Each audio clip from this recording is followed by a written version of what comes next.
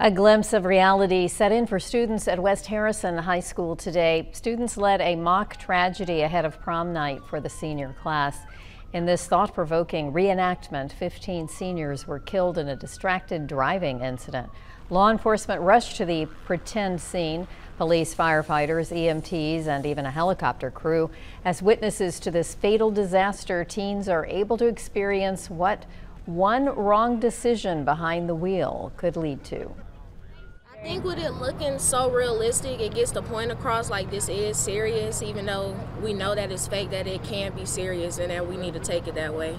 I've never had the type of reaction that I've had this year. Seeing my own child uh, being part of the crash scene and then being um, lifted up in the helicopter, that was a true, I'm good, it was just a true experience. I was scared, I was nervous, sad, all at the same time because my love was being sent up.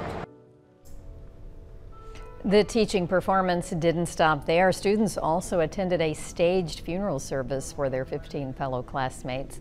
Students sang and three spoke in loving memory, closing the ceremony out with a student-created memorial slideshow. Well,